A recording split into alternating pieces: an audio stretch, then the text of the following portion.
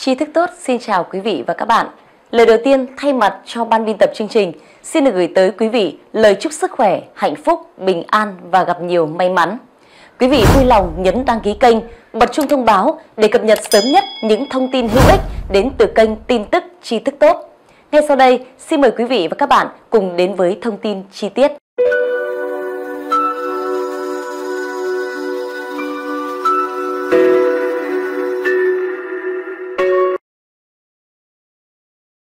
Từ vi học dự báo, năm nay vận trình của quý bạn phần hung lấn át phần cát. Công việc có sự thay đổi mở mang nhưng khá vất vả, phải xoay sở chạy đôn chạy đáo khắp nơi, lo công chuyện.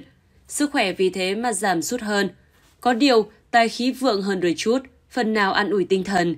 Chăm chỉ làm ăn, dẫu khó khăn nhưng hứa hẹn sự đền đáp xứng đáng. Về phương diện công việc, đa phần công việc có sự mở mang, thay đổi thêm nhưng gặp nhiều bất lợi, nên tiến hành mọi việc chậm nhưng chắc, chờ vận khí lên, gặp thời mới mong đổi vận. Càng về cuối năm cát khí càng vượng, nên chủ động nắm bắt cơ hội. Thận trọng trong hợp tác, hùn hợp làm ăn, kẻo xảy ra xung đột vì lợi ích, dẫn tới kiện tụng pháp luật. Về phương diện tài chính, so với năm ngoái, tiền bạc của bản mệnh kiếm được có phần tốt hơn, đơn số có thêm nguồn thu nhập khác, chứ không chỉ phụ thuộc vào một nguồn cố định. Người làm công ăn lương công việc ổn định, có dấu hiệu tăng lương nhẹ vào những tháng cuối năm, người làm tư, làm chủ kinh doanh phát đạt, tiêm bạc đủ chi tiêu và quay vòng vốn làm ăn. Lưu ý, xét theo lịch âm, tháng 2, 5 và 8, đường số đề phòng hao tiền tốn của vì những tranh chấp thị phi. Về phương diện tình duyên gia đạo, gia đạo khá hài hòa, trên bảo dưới nghe, hầu như không phát sinh xung đột nào nghiêm trọng.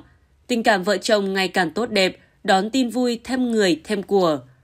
Về phương diện sức khỏe, từ vi học dự báo, vận trình sức khỏe của bản mệnh có thể chặn tốt, nhưng vì lao lực và suy nghĩ quá nhiều nên cơ thể suy nhược, khó tránh sức khỏe giảm sút.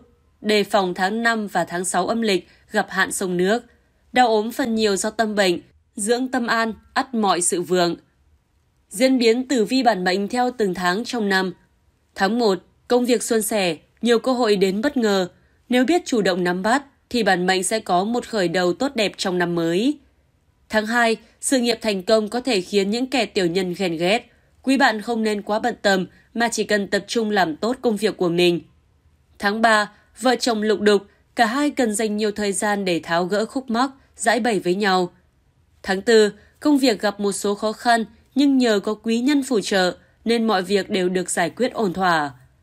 Tháng 5, vì thường xuyên xã giao nên sức khỏe của quý bạn dần suy giảm, cần hạn chế sử dụng chất kích thích, đồng thời có chế độ ăn uống hợp lý. Tháng 6, gia đạo trong tháng này tương đối êm ấm và hạnh phúc. Quý bạn có thể dành thời gian để đi chơi, đi du lịch cùng gia đình. Tháng 7, tâm trạng thường mệt mỏi, áp lực do khối lượng công việc lớn. Quý bạn cần chú ý giữ gìn sức khỏe, tránh để đổ bệnh. Tháng 8, sau thời gian làm việc chăm chỉ, bản mệnh thu về được những thành quả xứng đáng, hãy tiếp tục giữ vững phong độ. Tháng 9, sự nghiệp phát đạt, tiền tài không ngừng kéo đến. Tháng 10, có thể mở rộng quy mô đầu tư, kinh doanh nhưng vẫn nên cân nhắc, tính toán kỹ lưỡng. Tháng 11, xảy ra một số mâu thuẫn với đồng nghiệp, cần tỉnh táo và bình tĩnh, tránh chuyện bé xé ra to. Tháng 12, đây là khoảng thời gian nhàn nhã hiếm hoi của bản mệnh, công việc và gia đạo đều ổn định, không cần lo nghĩ nhiều. Trong năm nay, quý bạn gặp sao vân hớn chiếu mệnh.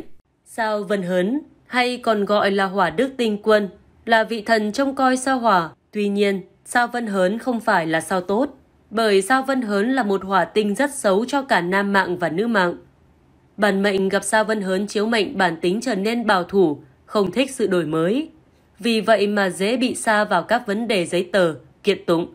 Lời nói ra khó nghe, nóng nảy, không giữ mồm giữ miệng nên hay xảy ra mâu thuẫn, cãi vã. Gia đạo bất an, buồn phiền nhiều hơn vui vẻ, đất đai, tài sản bất thịnh. Là vì sao hung tinh bị nhị bắt khẩu thiệt, tức tháng 2, tháng 4 và tháng 8 rất kỵ. Do vậy, người bị sao này nên thận trọng lời nói để tránh sự tranh chấp bất lợi đưa đến kiện tụng. Việc làm ăn buôn bán đều ở mức trung bình, cần cố gắng nhiều hơn mới đạt được thành tựu. Gia đình bất an, đề phòng ốm đau bệnh tật. Tuy vậy, sao Vân Hớn vẫn tương đối lành, không gây hại quá nhiều đến công việc, sức khỏe của bản mệnh. Hơn nữa, chỉ cần biết cách đề phòng, hóa giải, tất sẽ tránh được tai ương, mọi sự đều tai qua nạn khỏi. Cách thức cúng dâng sao vân hớn, hỏa đức Mỗi tháng vào ngày 29 âm lịch đóng kín các cửa sổ trong nhà, dùng 15 cây đèn cầy, hoa quả, trà nước, bánh trái và đốt ba cây nhang. Quay mặt về hướng chính nam khấn vái. Nam phương bính đinh hỏa tức tinh quân thì sẽ được nhẹ bớt phần nào. Trên tờ giấy màu đỏ ghi tên tinh tú tọa bản mệnh. Nam phương bính đinh hỏa đức tinh quân. Dùng một cây rìu chặn phía trên. Lấy vải đỏ che kín bùa và rìu rồi đặt đằng sau ba nén hương đã dâng sau đó, mặt hướng về phía chính nam tĩnh tọa trong khoảng thời gian từ 9 giờ đến 11 giờ. Qua 11 giờ, đem bùa vào nhà bếp đốt là được. Trong năm nay, quý bạn gặp hạn thiên la.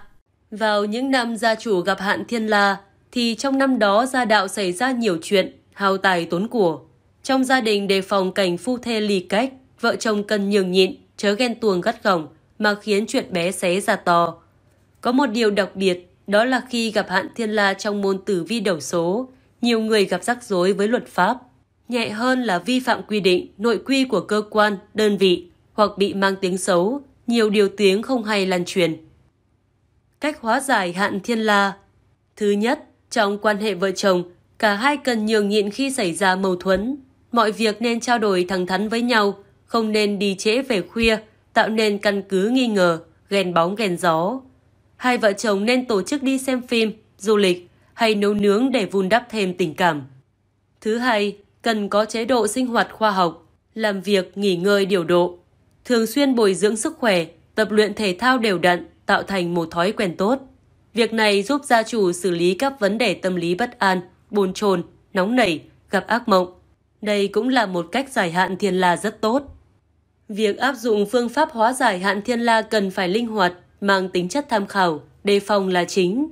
Bởi trong một năm đối với một thế hệ lứa tuổi có rất nhiều trường hợp khác nhau. Có người thăng tiến, phát tài, sinh con, cưới vợ, mua nhà, bị cách chức, đuổi việc, kiện cáo, mất trộm. Người xưa ghi chép, lưu truyền lại nhất định có lý do. Năm nay quý bạn Phạm Hoàng Ốc nên công việc làm ăn, sức khỏe cũng như các mối quan hệ trong gia đình không được thuận lợi, suôn sẻ. Theo quan niệm dân gian và trong phong thủy, thì hoang ốc là một hạn cần tránh khi làm nhà. Bởi làm nhà là một việc quan trọng trong cuộc đời của mỗi người. Nó có tầm ảnh hưởng đến cuộc sống sau này của các thành viên trong gia đình.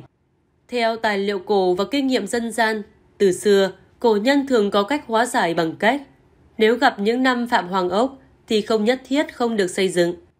Theo cách có đóng có mở rất linh hoạt và giải tỏa tâm lý cho gia chủ. Nếu gặp năm hoàng ốc thì sau khi xây cất xong, gia chủ trước khi nhập trạch về nhà mới thì nhờ người khác, thường là người thân, không phạm hoàng ốc, đến ở một thời gian. Sau đó, chủ nhà mới dọn đến ở chính thức. Những thông tin vừa rồi cũng đã khép lại thời lượng của kênh tin tức tri thức tốt. Cảm ơn quý vị và các bạn đã chú ý theo dõi. Mọi ý kiến đóng góp, mời quý vị để lại phần bình luận phía bên dưới để đội ngũ của chúng tôi có thể kịp thời hồi đáp. Quý vị vui lòng nhấn đăng ký kênh, bật chuông thông báo để cập nhật sớm nhất những thông tin hữu ích nhất đến từ kênh tin tức tri thức tốt. Xin kính chào và hẹn gặp lại quý vị ở những bản tin tiếp theo.